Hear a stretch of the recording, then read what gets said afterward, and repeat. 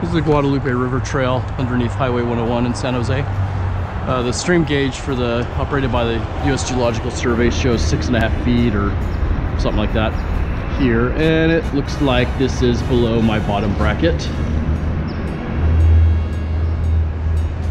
Maybe.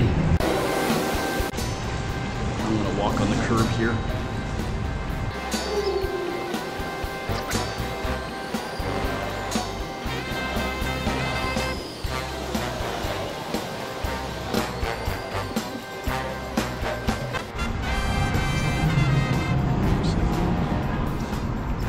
Pedals are above water here, so here we go.